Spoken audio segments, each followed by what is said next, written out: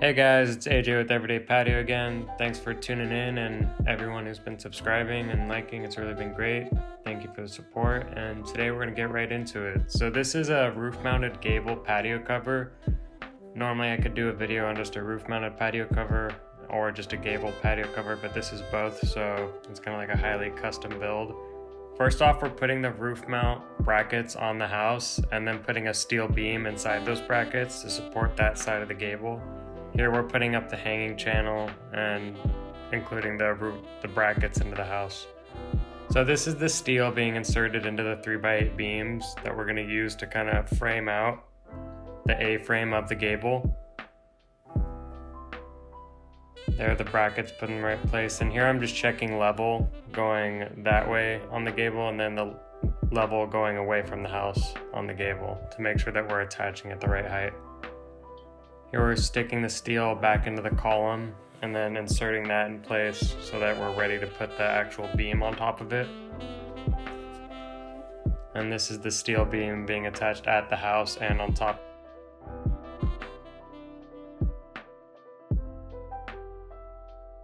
we have a steel beam connecting each side of the gable and there I'm just checking level to make sure that the back or uh, the height of the post supporting the front end of the gable is the right height. There I'm putting the bracket and the height that we determined to be the right height.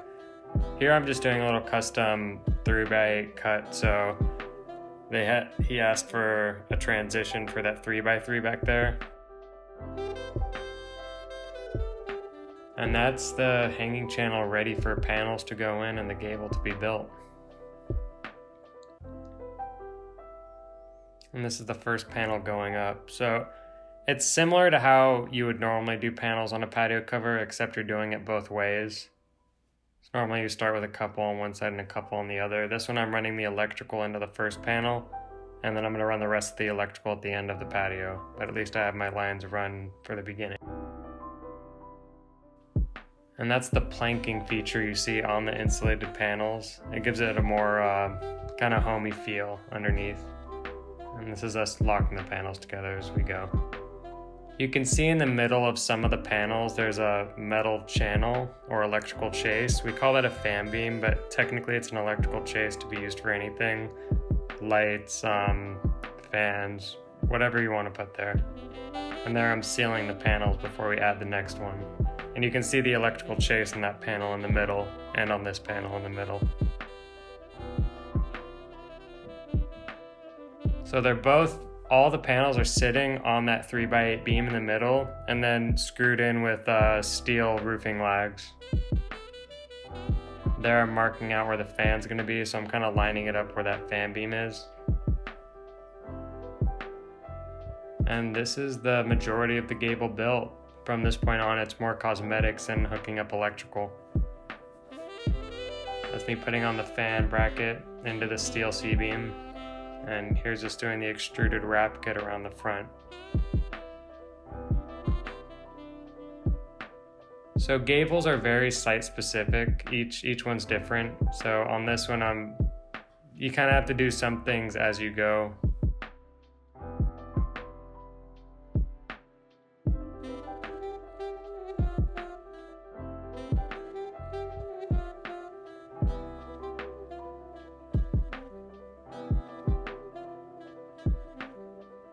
That's the extruded wrap kit done, and now we're doing the ultra embossed uh, aluminum around the end cover. It's got a 30 year warranty on the paint, no chipping, cracking, flaking. So the whole the whole patio cover is ultra embossed on this one. And here's kind of what the roof looks like before the final layer of sealant. You can see the roof mount brackets and then Matt right there taking off the excess caulking so that when I come through later I can put on the final layer of caulking. Here's a little close up of me doing the electrical.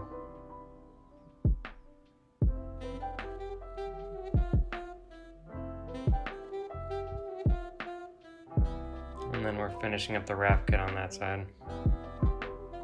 And then I hot wired the lights to work that night so we could finish up some stuff. Here I'm doing a GFI on top of this column for some rope lighting that's going to be going around the patio. You gotta make sure you have uh, old construction box and proper cover for that. And this is me hooking up the lights, the plug, and the fan all at once. This is kind of the main junction for all of that. Again, if you're ever doing electrical, make sure to have a licensed electrician or someone that knows what they're doing doing this. Um, we're licensed to be able to do things like this, but you gotta, it's still electrical. You gotta take it seriously and make sure someone, a professional, does it.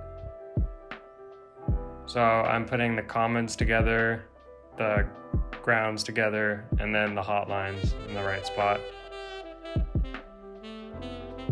It was 12 gauge wire, I believe, so 12.3 is what we ran through most of the patio, giving us a second hotline.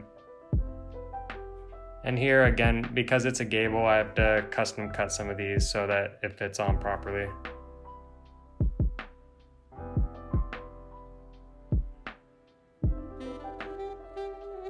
You mark it out and then use your snips to do the final cuts.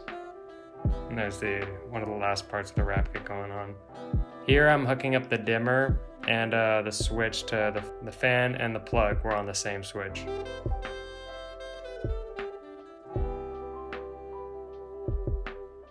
So you can shut off the breaker when you do this, but if, as long as you're touching everything in the right place and using rubber, you're, you're going to be fine. But again, an electrician knows most of that, so I would leave that to an electrician to hook up. Here we're putting in the downspout for the water drainage. And then the back side of the wrap kit. You can see where we kind of had a notch around that panel around the roof. And then here I'm putting on the final layer of caulking. So we had the first initial layer, we took it off, and then we're putting on this layer to give it a final secondary seal. And this is what the patio looks like done.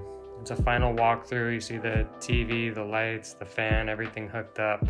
The downspout, and yeah, that fan's really great. I think the patio came out great. I'm thankful to have had the opportunity to build it. Um, thank you everybody for watching this video, and um, please like, comment, and subscribe if you guys want to see more content, we're going to be around. So we've been putting a lot of work into these videos. We appreciate the positive feedback. Thank you, and I hope you have a good day. Everyday Patio out.